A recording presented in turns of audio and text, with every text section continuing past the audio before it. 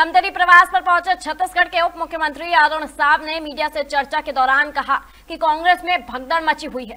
कांग्रेस प्रत्याशियों का कांग्रेस से कार्यकर्ता ही विरोध कर रहे हैं। उप मुख्यमंत्री अरुण साहब ने कहा कि मोदी के नेतृत्व में देश ने तेज़ी से विकास किया है, जबकि कांग्रेस ने सिर्फ़ देश को लूटने का काम किया है।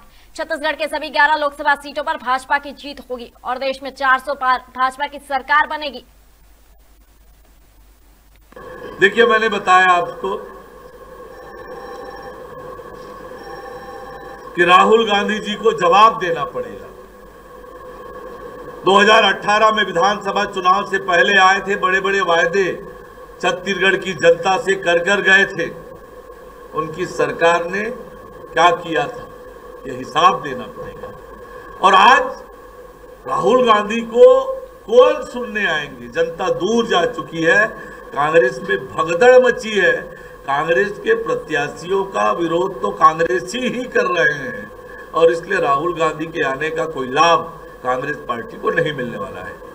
पूरी ताकत से हम चुनाव की तैयारी में जुटे हुए हैं।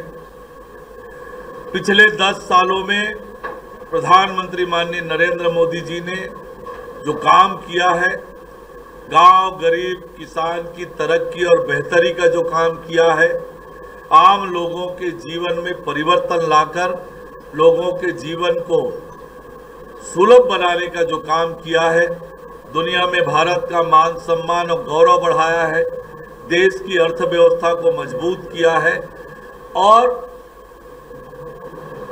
पिछले सौ दिनों में प्रदेश की विष्णुदेव साय जी की सरकार ने जो मोदी की गारंटियाँ पूरा की है